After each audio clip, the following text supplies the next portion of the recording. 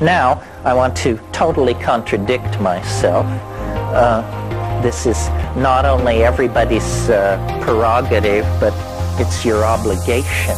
If you don't contradict yourself, your position isn't complex enough. I, I, I, will talk a little bit about um, what I've learned from psychedelics.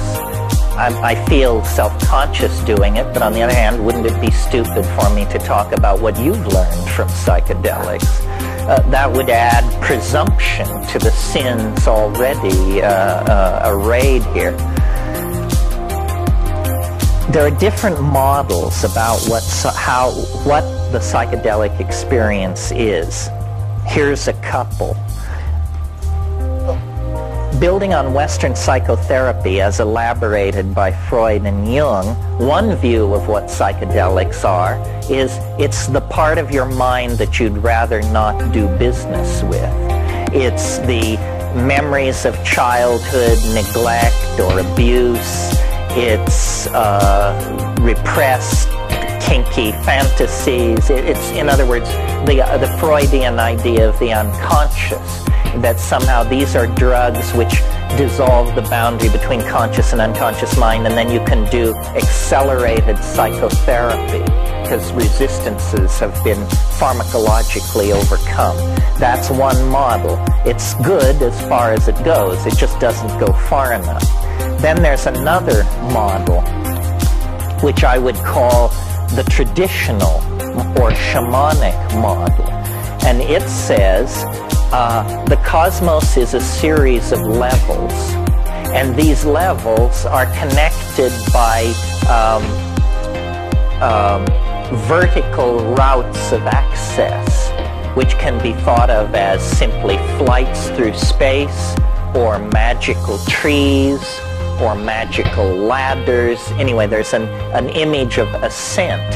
And ordinary people exist on only one of these levels. But a shaman is not an ordinary person. A shaman is a superhuman person who has the power of animal allies behind them, and they can go up and down in these elevators that move between levels, and they can therefore recover lost souls, see uh, social hanky-panky, theft and adultery, see the causes behind that, see the causes behind disease, so forth and so on. That would be the traditional one. Uh, the, what I have concluded after 25 years of fiddling with this is that both of those ideas have a certain uh, something to recommend them, but that they don't go far enough and that we get more to the meat of this if we leave off psychological, the first explanation, or sociological, the second explanation, and actually go for something a little more uh, formal, to wit, a mathematical model of what shamanism is. And what I mean by that is, let's think about what shamans do they cure disease, and another way of putting that is they have a remarkable facility for choosing patients who will recover. They predict weather, they're very important. They tell where uh, game has gone, the movement of game and they seem to have an, an, paranormal ability to look into questions, as I mentioned, who's sleeping with who, who stole the chicken, uh, who, you know, social uh, transgressions are an open book to them. Well, thinking about this from a mathematician's point of view, uh, a, an all-encompassing explanation that would explain how all these magical feats are done is simply to suppose that the shaman is somehow able to project his consciousness, his or her consciousness, into a higher dimension. Not metaphorically, as in Sylvester Stallone has many dimensions, not metaphorically, but literally, as in one dimension, two dimensions, three dimensions, and four. Because if you could move into the fourth dimension, the, the dimension orthogonal to Newtonian space-time, seeing what the weather is going to be next week is as easy as seeing what the weather is now. Seeing where the game went is as easy as seeing where the game are knowing who stole the chicken is simply defined by looking to see who stole the chicken.